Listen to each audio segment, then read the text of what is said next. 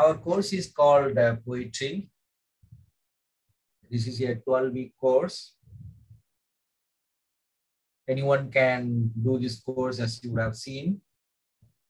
The primary aim of this course is to introduce different forms of poetry and themes of poetry to anyone interested in poetry. We also have attempted to bring in some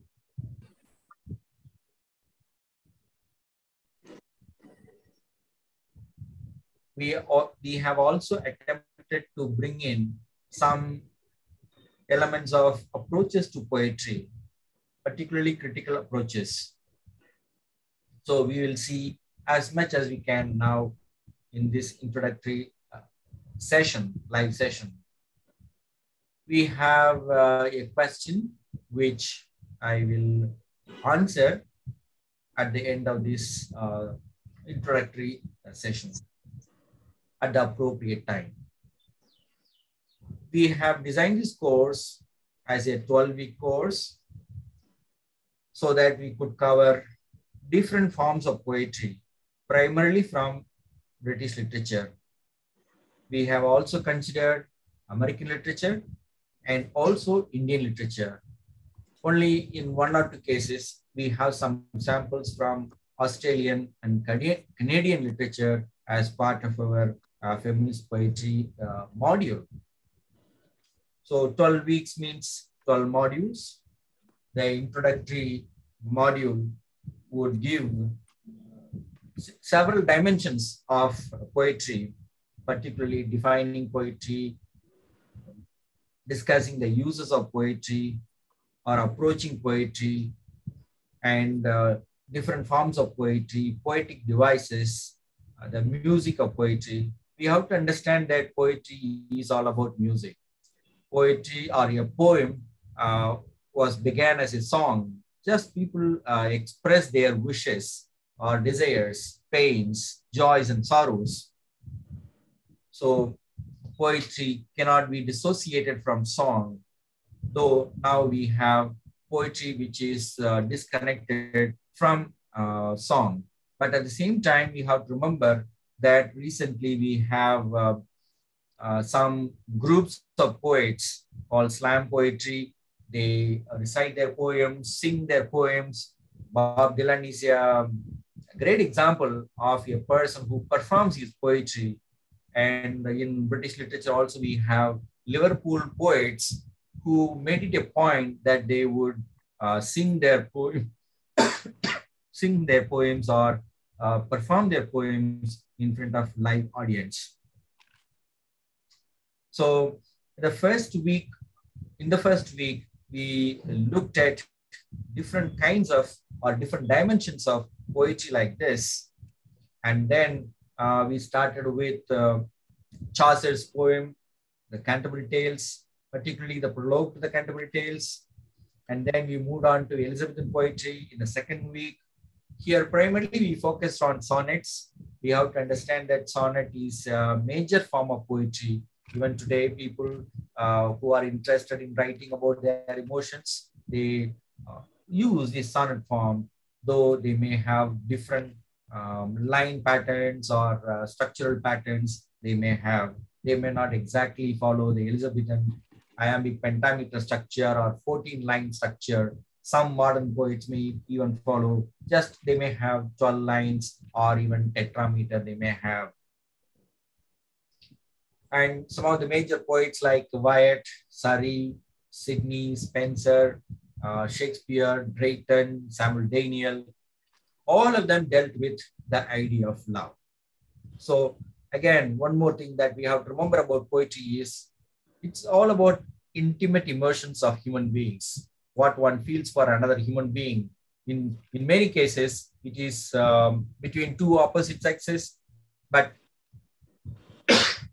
we can understand that um, a woman can express her love for another woman a man can express his love for another man or uh, human beings can express their love for nature or love for some divine being or some idea of freedom, liberty, and things like that. So we have um, a love poetry. And uh, then uh, when we come to metaphysical poetry in the third week, we find John Donne, uh, Andrew Marvell, George Herbert, Henry Vaughan. Uh, these are the major poets that we have discussed in the second week. Here also you can see uh, primarily these uh, metaphysical poets deal with love, love for um, a man and love between a man and a woman, as in the case of John Donne and Andrew Marvell. But in the case of George Herbert and Henry Vaughan, we see that they uh, discuss their love for God or their relationship with God. It's not that John Donne hasn't written, he has written uh, spiritual poems, especially for uh, God or about God he has written.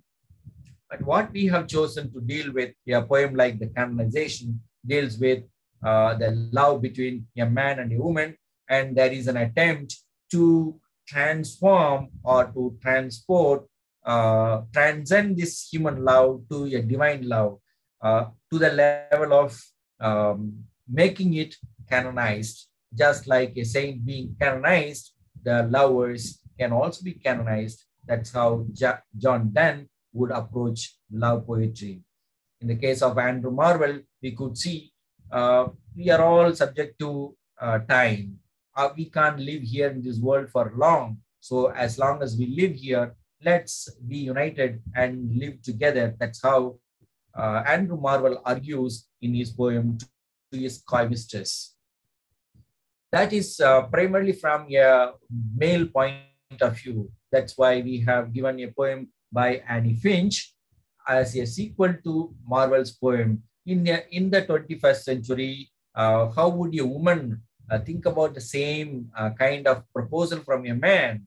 She simply uh, declines, refuses to accept the offer from uh, the man. And she, she says, let's live and write poems as long as we live. And uh, from there, we move on to neoclassical poetry. We have John Dryden and um, uh, Alexander Pope. In addition to that, we have some poets like um, uh, Thomas Gray and also William Collins. Plus, we have included um, William Blake as well here uh, so that we could accommodate him in some place. Um, in romantic poetry, we have many poets, so we thought we could have him here as at the end of neoclassical poetry to signal the transition from neoclassical poetry to romantic poetry. As you can see, uh, as you would have understood after listening to the videos and also to the uh, reading the uh, reading material, you would have understood that uh, love or nature or human beings or human society, uh, more of um, human weaknesses are seen in this neoclassical poetry. That's why in MacFlecknoe, John Dryden satirizes dullness or um, uh, stupid people uh, writing poems. Uh, it's uh, more like personal animosity or personal vendetta. Um, John Dryden writing against Thomas Shadwell, and in the same in similar way, we have Alexander Pope attacking uh, Joseph Addison in the form of Atticus and um, Lord Hervey in the form of uh, Sporus. It's more of a personal attack. Even then, we can see uh, poetry at its best, neoclassical um, uh, poetry. From um, unrhymed iambic pentameter in Elizabethan poetry, that is blank verse, we move to uh, heroic couplets in neoclassical poetry as the emotions are expressed in different ways, some kind of formal changes or change in form also occurs. The same iambic pentameter or blank verse was not found suitable by neoclassical poets like Dryden and uh, uh, uh, Alexander Pope. So they perfected the art of uh, heroic couplets. It would be very nice of you to read some of these uh, poems and uh, see some of the rhetorical flourishes, particularly antithesis, oxymoron, paradox, irony. We have irony and paradox in metaphysical poetry as well. We have the conceit, wit also in metaphysical poetry. But when you come to neoclassical poetry, you can see the um, best form of neoclassical wit or irony and paradox. For example, when he uh, when Pope attacks um, uh, Joseph Addison, he would say, willing to wound and yet afraid to strike, uh, a timorous foe and a suspicious friend. Uh, when it uh, comes to Lord Hervey, he would say, without uh, hesitation, amphibious thing, neither this nor that. So that kind of personal attack, Pope would indulge in uh, neoclassical literature, particularly in his uh, satire, verse epistle. That is another kind of um, form that we have to think about. In the case of Dryden's uh, Macflecknoe, that is considered to be an example of mock epic. The Epic we know from Homer's um, Iliad or from uh, Milton's Paradise Lost. So for, to give an example of mock, uh, uh, mock epic, we have uh, Macflecknoe and to give uh, an example of verse epistle, we have an epistle to Dr. Arbuthnot in neoclassical poetry.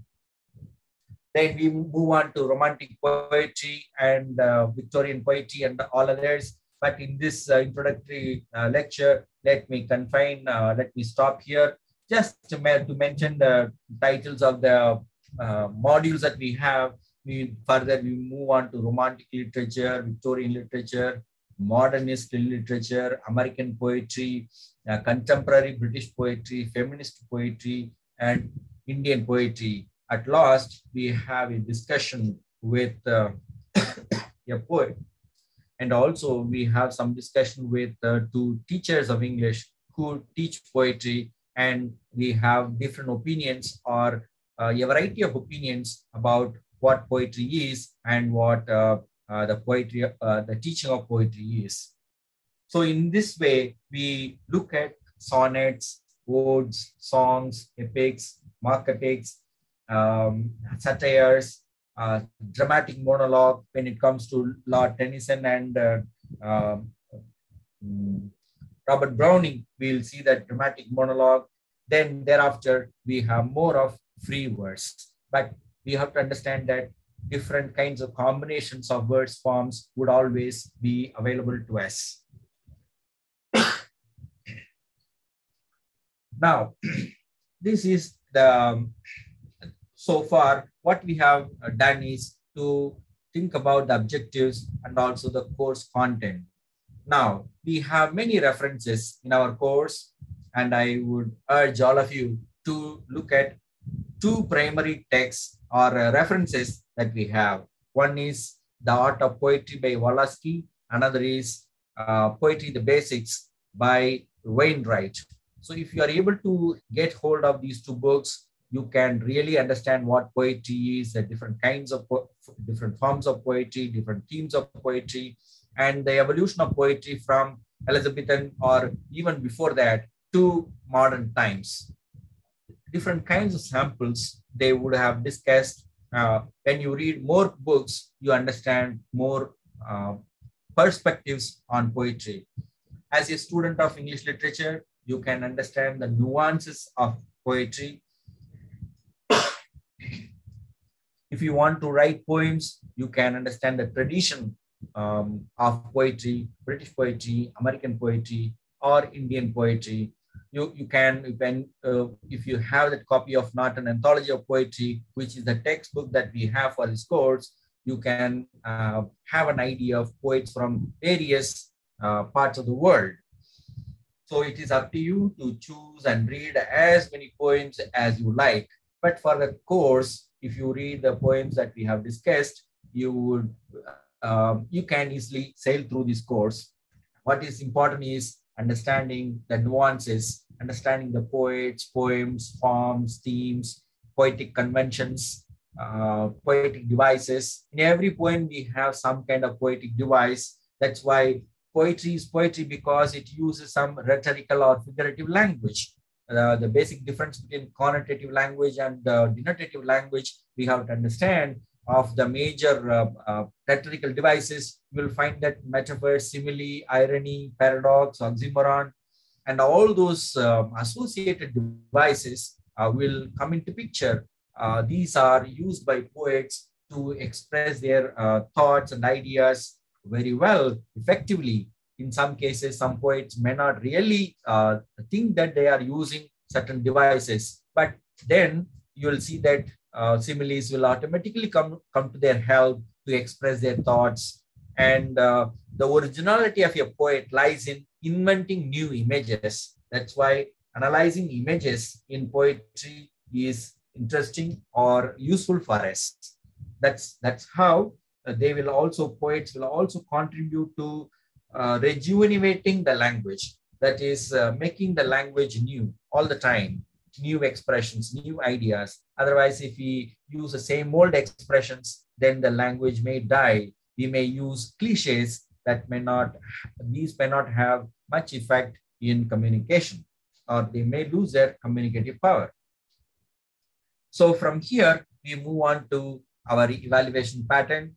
Uh, you By now, you are familiar with the quizzes that you have taken. Uh, I hope all of you have got a good um, um, scores in your uh, uh, quizzes. Uh, I, I hope you didn't have much difficulty because you have the videos and also the reading script you have. All the transcripts are available to you. So you could have read them and given the answers exactly. And maybe one or two cases you had some difficulty, but when you, you go back to your text, you would understand uh, all of them better. Apart from these quizzes, we also have in semester examination. That is where one student had asked a question whether the exam will be in objective type or descriptive type. In our case, uh, we have chosen to have both descriptive type and objective type. Uh, objective type, we have, um, I mean, um, uh, just, uh, about, I mean, majority of the questions will be in objective type. Only some portion will be in descriptive type because uh, after reading poems, one of the skills that we have to learn is how to analyze poems. So for that, we have uh, one section, critical appreciation at the end of the uh, model question paper. I'm sure all of you have seen the model question paper given uh, on the portal. And if you have not seen uh, the model question paper, please look at it again and help yourself. So totally we'll have 44 questions. The first section will have 10 questions. It will have a true for a true false structure. So you have to identify whether your question, whether the given statement is true or false. And the second section will have MCQs, that is multiple choice questions. That means you will have only one correct answer. You have to choose. Some answers will be there. Some six options will be there.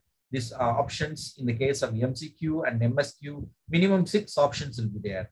In the case of MCQ, you have to choose only one option. But in the case of MSQ, uh, that is uh, in the second section, we have 15 questions. In the same way, uh, in the third section, we have 15 questions. That is where we have multiple sequence, uh, multiple selection questions.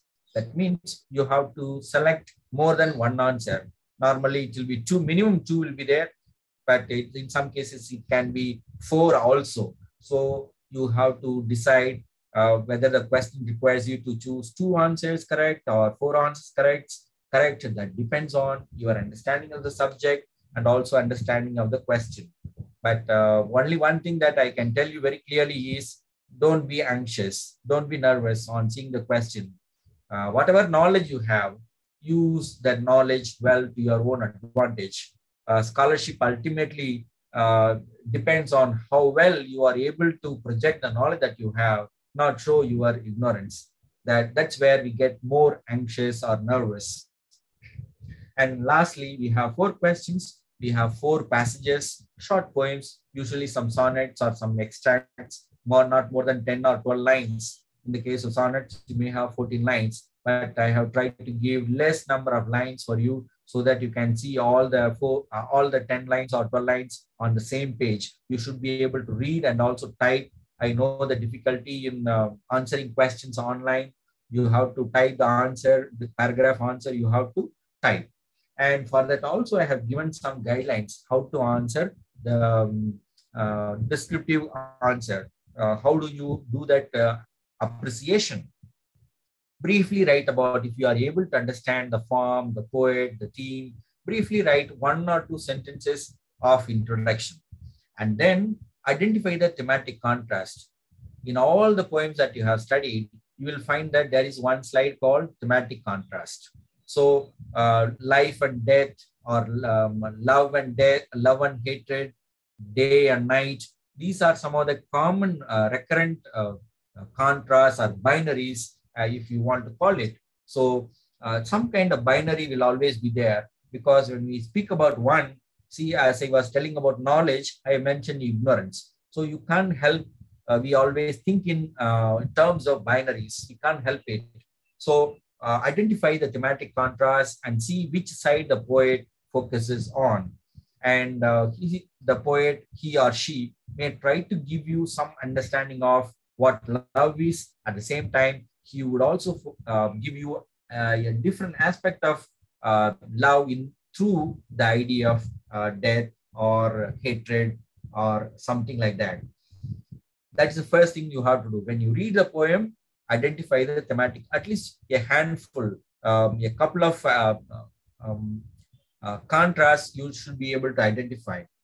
That, that's where you will understand the theme of the poem much, be much better. Then you have to identify the poetic devices.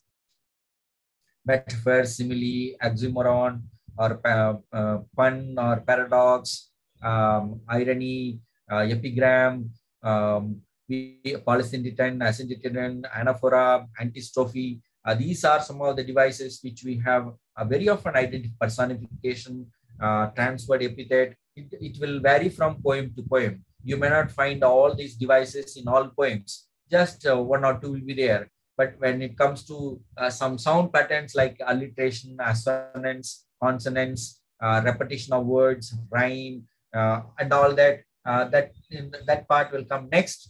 So poetic devices you have to identify, and if these poetic devices have some significance or uh, in relation to the theme, please highlight why does the poet use one particular image in this context, either through metaphor or through simile or personification or the opposite of personification like reification when there is a kind of depersonalized image, as it happens in the case of Pope's poetry, where he uses animal imagery to refer to human beings.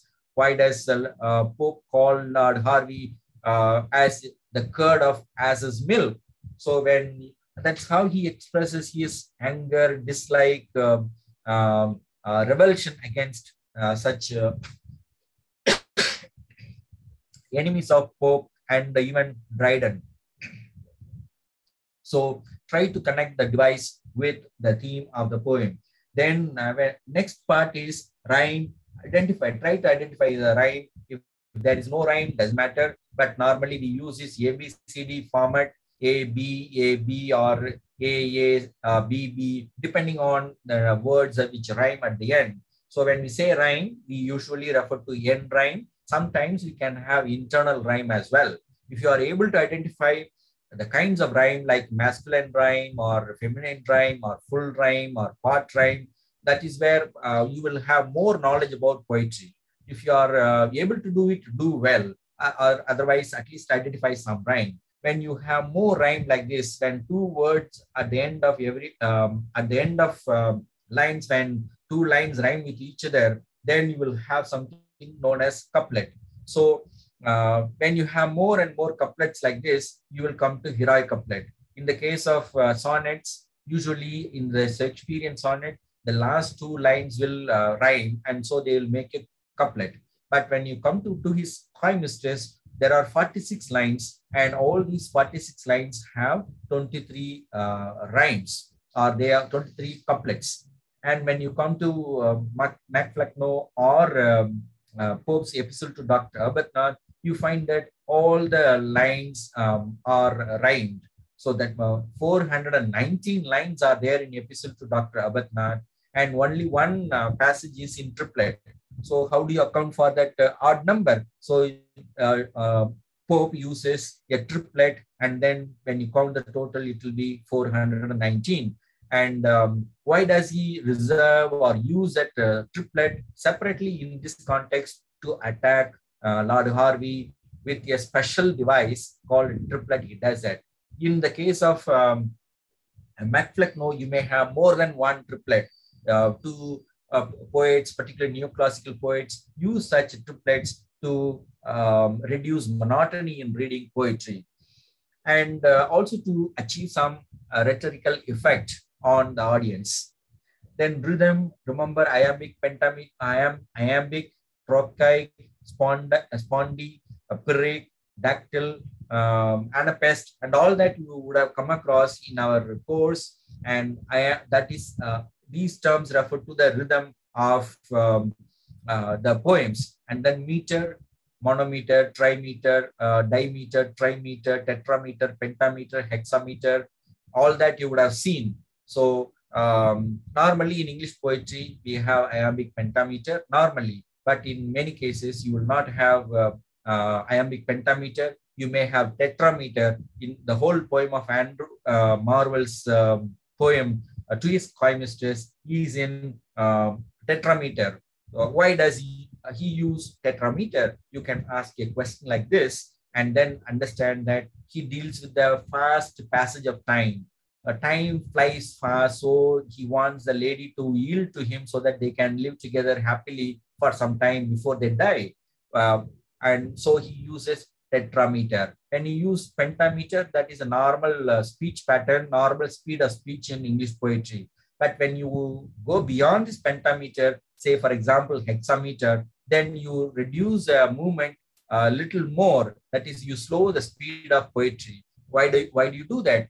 Uh, maybe um, the poet has some kind of belief that he can control the passage of time or he has some uh, heavy heart. When the poet is sad you will normally you can see when we are uh, uh, walking fast we are cheerful and happy. When we walk slowly we are melancholic. So some kind of uh, similar uh, tendency you can find in poetry as well so what is that uh, meter you have to identify and then finally, you have to give overall impression. What does the poem try to do? If you if you can understand the name of the poet, do it. And usually, I have taken the poems from the course uh, text only.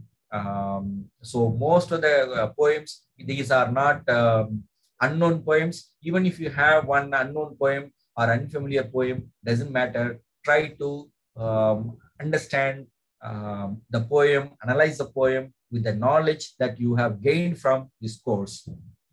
And one or two lines of conclusion, if you are able to write, then you would have done your end semester very well. So now let me pause and then uh, take questions. I will not be able to see the screen. So uh, if you can type your questions, maybe I can see through chat. Otherwise, you can speak actually. You can do that. anyone willing to ask questions or give your impressions? What is that you have learned from this course? You are welcome.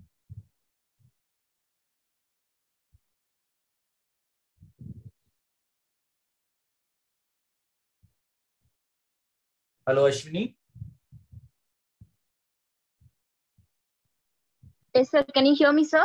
Yes, I can hear you. Uh, do you have some questions or you, are, yes, you can sir. share your thoughts? yes uh you know the most of the poem we are dealing with in this course it is all uh, you know it comes uh, period wise right so we offer historic historical context is very uh, important for all this poem yes uh, what can we do without historical context Sir, is there any kind of reading possible without historical context uh, in when you have that opportunity of referring to the historical context you can do it but in the examination, um, when you you may not be able to remember the entire history, right? Are you referring to the examination context or general? No, sir, no, no, not from the examination point of view. Okay. In general, um, uh, you know, you you must be familiar with close reading, new critical reading. Are you familiar, yes. Ashwini? Yes, yes, sir, yes, sir. So at that time, uh, new critical uh, analysis was in the early 20th century, new critical analysis was undertaken uh, primarily because when we know the poet, when we know the context, we go with a prejudiced view. when we know that Yeah. one this is an Indian poem, we rate it uh, lower than uh, an uh, an American poem or a British poem. Do you understand? So it, we have uh, advantages and disadvantages.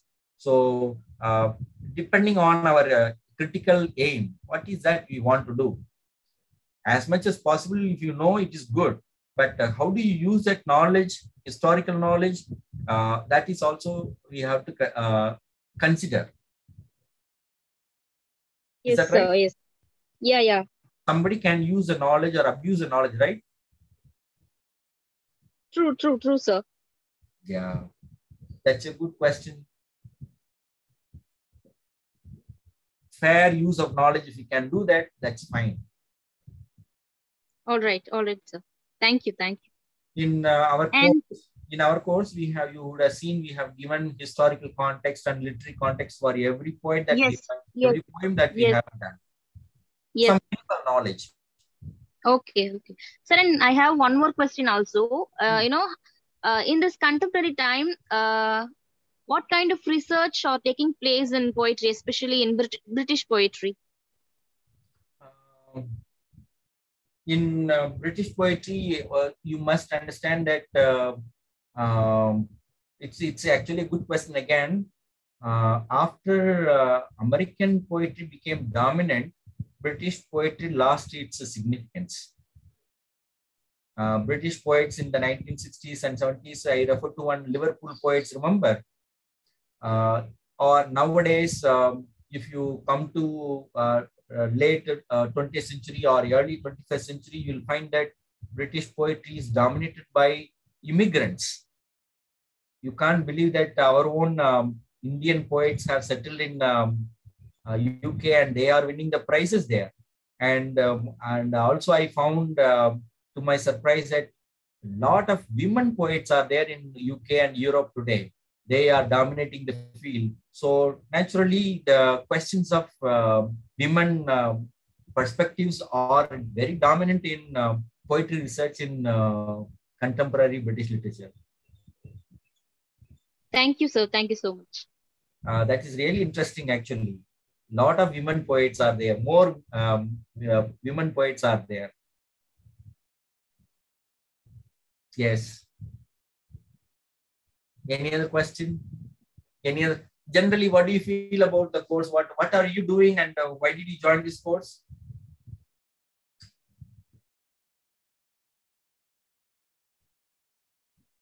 Sir, actually, I took your uh, literature and life course the last time, so I've Oh. joined poetry this time. Okay, good, good, good. I hope you learned something from literature and life. Yeah, yeah, and I am expecting uh, part two from you, sir. Oh, for Maybe literature and philosophy too. uh, You can go for that. literature, not literature and philosophy, literature and social justice, like that. I have some idea, or literature and values, something like that. Yes, sir. Yes, sir. Actually, we need this kind of course for this time, sir. That's what I can say. Thank you. Uh, is uh, only one, I found only one question in the link that was sent to us uh, by NPTEL. And so I could not, uh, that I have, I have answered. That is uh, the um, question paper will have both uh, objective type and descriptive type questions. Descriptive type, how to answer these questions, I have explained. Let me see in the chat, is anybody else is there? No. Okay. If you have any other questions, comments, you can have, uh, otherwise we can wind up our session, uh. Is there any, I don't see anybody, is there any, anybody else? Vijay Bhaskar?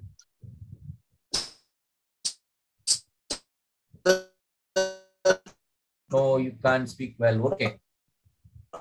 I see only, uh, let me see. Uh, yeah, there is nobody else. So we can. Okay, okay, Vijay Bhaskar, you need not attempt to speak. It's okay. Then we will uh, close our session. we need not continue for long. Thank you so much, Professor. Uh, thank you for, for and, joining us. uh, Ashwini and uh, Amber, sir. Pardon? Okay. I'll tell uh, the NPTEL people to close the session. Thank you, sir. Uh, thank you, Ashwini. Good day.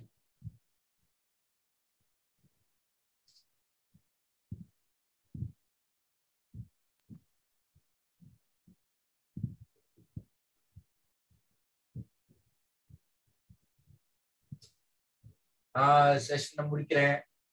Just leave பண்ணி just leave okay பண்ண சொல்லுப்பா. நான் leave பண்ணிடுறேன். ஓகேப்பா bye thank you sir ஆ போலாம்ப்பா. Thank you yes sir thank you sir yes thank you sir